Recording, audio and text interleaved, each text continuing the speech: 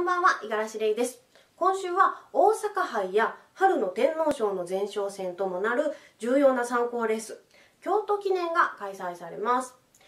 注目はもちろん凱旋門賞からの帰国レースとなるマカ引きですよね。おそらく一番人気となるので、この馬の評価が大きく馬券に影響しそうです。京都記念はみんなの馬券も開催するので参加をお待ちしてます。それでは今週もよろしくお願いします。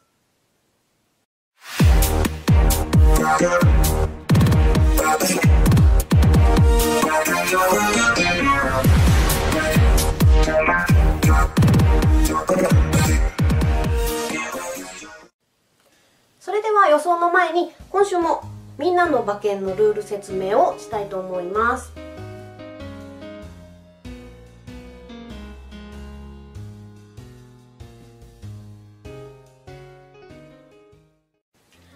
それでは本命に選んだのはミッキーロケットです。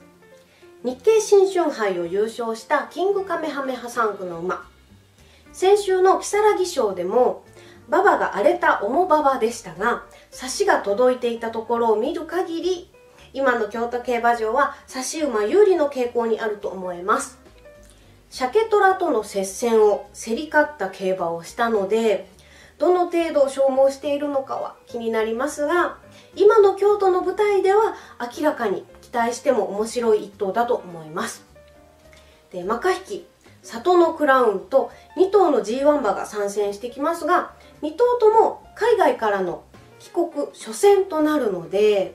神戸新聞杯で里のダイヤモンドと際どい競馬を演じたこの馬に今回はチャンスがあると見て本命に選びました。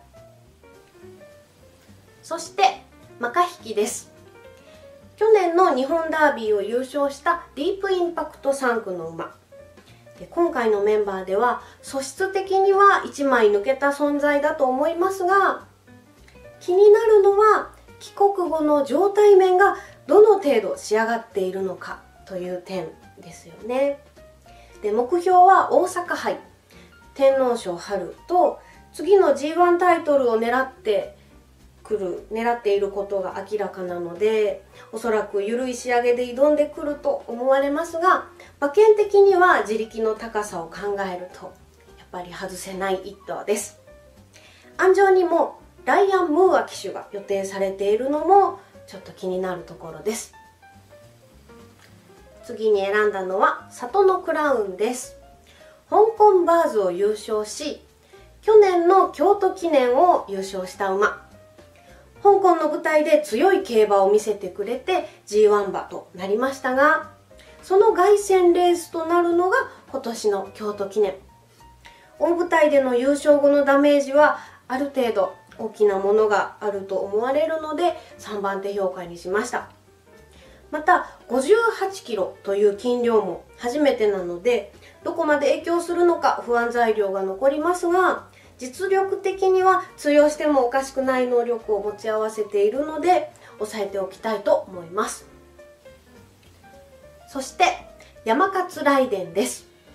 今回で3度目の G2 挑戦となるシンボリクリス S3 区の馬。前走の日経新春杯では大逃げ宣言をしながらもプラス14キロという馬体重も影響してうまく逃げることができずに